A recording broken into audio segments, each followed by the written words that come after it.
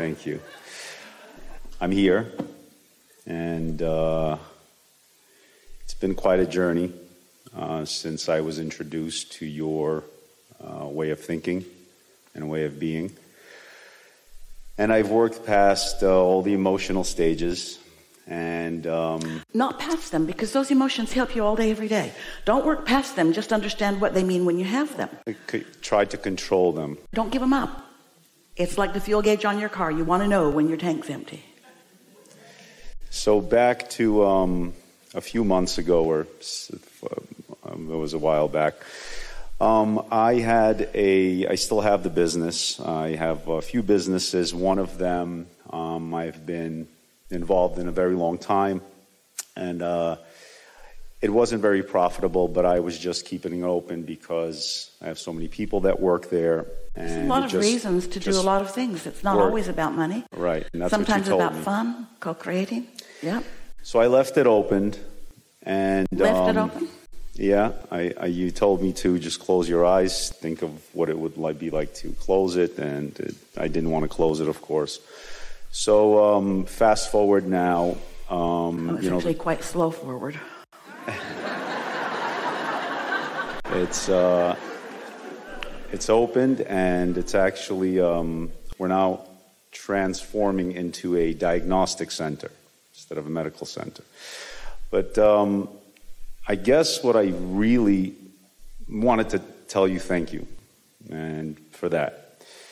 And um, I am uh, finding it hard to, you know, I I know who I am. And um, That's a hard thing to keep up with because you're changing every single day. Right, right, and and um, you're attracting now all these new different people because of who you're becoming Because as of your bag of marbles.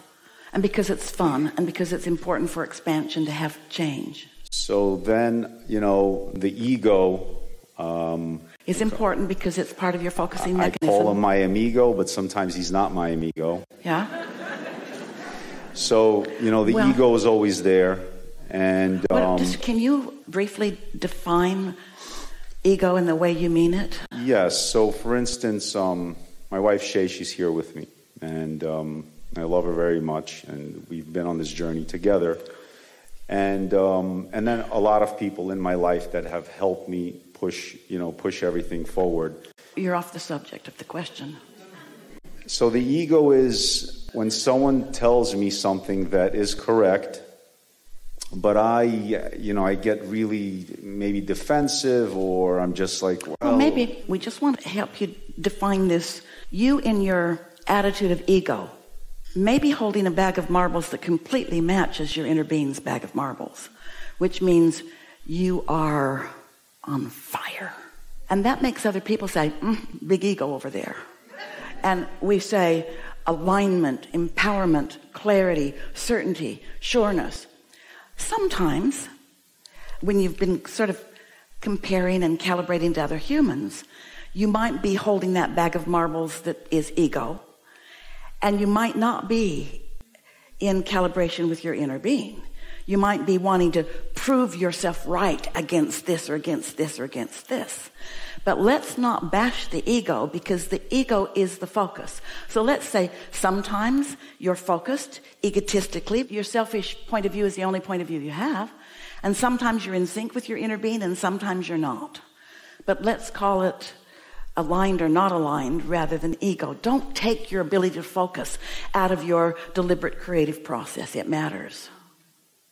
I agree. Helpful. Yes. So these people around you, have they been telling you that your ego's out of hand when they disagree with you? In other words, why did you bring them in to the conversation during our question about how do you define ego? What Oh, made no, you talk about them then? It's not. It's not them. It's actually me. I Well, it always is, but why did you bring them up? because um, because they're the people around me that I rely on to to uh, in conjunction with my own guidance system to know that I'm pushing everything towards the right direction. See, look at it this way. If you've been tending to your bag of marbles, we can talk in more detail if you want to about something happening and it affecting you. Hand wringing is exaggerated. And then you deliberately find easy to find good feeling existing positive aspects about that subject so that you activate easy to find good feeling attributes aspects that are in alignment with what your inner being knows that's what you want to rely on all these people that everybody's relying on they may or they may not not may or may not they are cooperative components. But are they cooperative components to this bag of marbles or to this bag of marbles? And that's not up to you. That's up to what they did before they showed up that's about what they've been thinking about. That's about what part of the television they watch every night. And so you can't control what somebody else's point of attraction is. But if you will make sure that you are in sync with this powerful, powerful, highly positively influential part of you, then you don't say things like, I rely on them.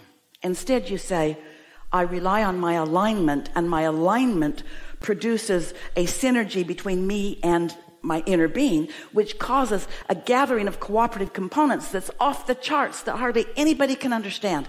I look magic, in fact. I look magic. Esther got a phone call this morning from the dry cleaners.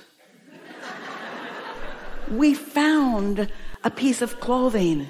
And Esther said, Thank you, thank you, thank you, thank you, thank you, thank you, thank you. Because it was something I really care about. Was it an undershirt? And did it have little sparkly under threads in it? Yes, that's it. Esther said, Thank you for calling me back. Thank you for calling me back. Now, they were going to find it because they had it. But they called her because she found existing matches. In other words, she didn't let herself stay in that. Not because she was trying to control the outcome of the missing garment, but because she can't stand to feel like that. That sucketh.